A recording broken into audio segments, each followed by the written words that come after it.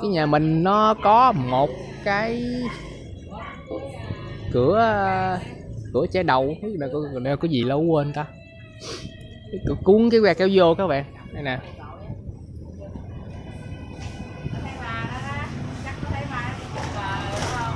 Đó cửa cuốn cái que kéo vô rồi đúng không? Đấy. Thì bây giờ gắn làm sao? Cái này gắn đơn giản lắm thì đầu tiên á, nó gắn là nó đóng nó nó khoan bu lông nở bốn con các bạn. Đây. Nó khoan bu lông nở bốn con nè.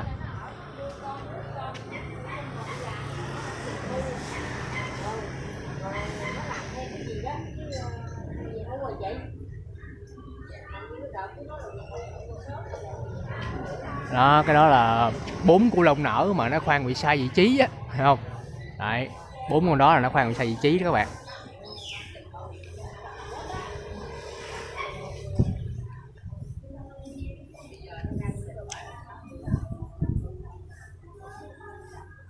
Đó. Bốn cái con đó nó khoan sai vị trí. Con đúng là, là chỗ này đó các bạn. Trong đây nè. Đó, trong đó là có con đúng. Đấy. Nên nó lòi bốn cái con bu lông nở ra là khoan sai vị trí. Cho nên là chúng ta thấy rõ ràng là muốn gắn cái này vô thì chỉ cần là khoan bốn con bu lông nở một bên. À,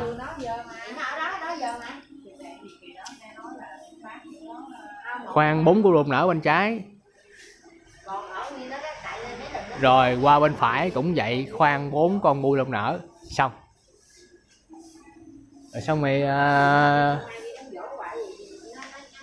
khoan bu nở xong thì à, bắt cái bát lên các bạn.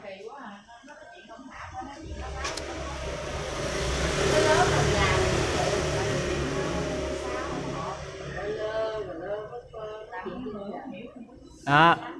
Khoan bốn lông nở xong bắt cái bát này lên. Đúng không? Bắt bắt lên xong rồi xong rồi gắn cái bát này vô cái bát uh, ờ, chữ u rồi nè.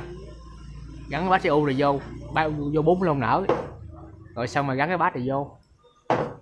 Rồi cái phần còn lại thì tự gắn thôi tại nó nguyên bộ mà. Đúng không? Chỉ cần chúng ta là có bốn bộ lông nở đó là gì chính xác. Bốn bộ lông nở đó là xong. Còn phần gắn kia thì đơn giản thôi lại nó nguyên nguyên bộ mà. Nó sáu mươi nó năm nó năm mươi mấy tuổi con nó sáu chục tuổi đi con